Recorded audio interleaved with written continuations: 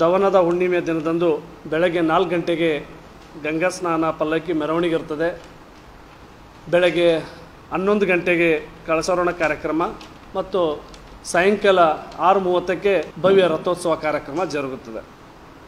ಅದೇ ರೀತಿಯಾಗಿ ಸಾಯಂಕಾಲ ಏಳು ಗಂಟೆಗೆ ಒಂದು ನಮ್ಮ ಧರ್ಮಸಭೆ ಕಾರ್ಯಕ್ರಮ ಇರುತ್ತದೆ.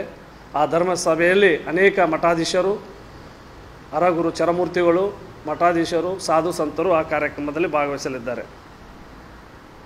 ಎಂಟು ಗಂಟೆಗೆ ಒಂದು ಮಕ್ಕಳಿಂದ ಸರ್ಕಾರಿ ಹಿರಿಯ ಪ್ರಾಥಮಿಕ ಶಾಲೆ ಒನಗುಟ್ಟ ಗ್ರಾಮದ ಮಕ್ಕಳಿಂದ ಒಂದು ಸಾಂಸ್ಕೃತಿಕ ಕಾರ್ಯಕ್ರಮ ಇರುತ್ತೆ. ರಾತ್ರಿ ಹತ್ತು ಗಂಟೆಗೆ ಶ್ರೀ ರೇಣುಕ ಯಲ್ಲಮ್ಮ ದೇವಿಯವರ ಪೌರಾಣಿಕ ನಾಟಕ ಇರುತ್ತದೆ. ಇವೆಲ್ಲ ಮಠದಲ್ಲಿ ನಡೀತಕ್ಕಂಥ ಕಾರ್ಯಕ್ರಮಗಳು ಇಪ್ಪತ್ತ್ಮೂರು ಮೂರು, ಎರಡು ಸಾವಿರದ ಇಪ್ಪತ್ತ್ನಾಲ್ಕರಂದು ಅಂದರೆ ಮಂಗಳವಾರ ದಿವಸ.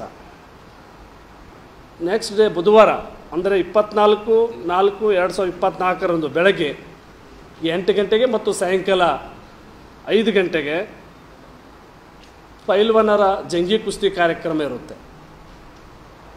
ನಂತರ ಇಲ್ಲಿ ಅನೇಕ ಭಕ್ತಾದಿಗಳಿಂದ ಒಂದು ಮಹಾಪ್ರಸಾದ ವ್ಯವಸ್ಥೆ ಇಲ್ಲಿ ಇರ್ತದೆ.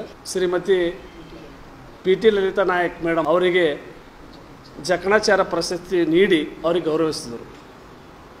ಇದು ಒಂದು ನಾವೆಲ್ಲ ಹೆಮ್ಮೆ ಪಡ್ತಕ್ಕಂಥ ವಿಷಯ. ಇವತ್ತು ಆ ದೇವಸ್ಥಾನ ಒಂದು ದಿವ್ಯ ಶಕ್ತಿಯನ್ನು, ಪರಂಪರೆಯನ್ನು ಹೊಂದಿರತಕ್ಕಂಥ ದೇವಸ್ಥಾನ. ಹೀಗಾಗಿ ಈ ನಮ್ಮ ಕಲ್ಯಾಣ ಕರ್ನಾಟಕದ ಬಹುಸಂಖ್ಯೆಯಲ್ಲಿರ್ತಕ್ಕಂಥ ಈ ಕುರುಬ ಸಮುದಾಯಕ್ಕೆ ಒಂದು ಅರ್ಧ ದೈವ. ಹೀಗಾಗಿ ಎಲ್ಲ ಸುತ್ತಮುತ್ತಲಿನ ಗ್ರಾಮಸ್ಥರಿಗೆ ಮತ್ತು ಕಲ್ಯಾಣ ಕರ್ನಾಟಕದ ಎಲ್ಲ ನಮ್ಮ ಸಮುದಾಯ ಜನರಿಗೆ, ಕುರುಬ ಸಮುದಾಯ ಜನರಿಗೆ, ಒಬ್ಬ ಕುರುಬರ ಕಾಶಿ ಅಂತೇ ಅದಕ್ಕೆ ಖ್ಯಾತಿಯನ್ನು ಪಡೆದಿರ್ತಕ್ಕಂಥ ಈ ದೇವಸ್ಥಾನ.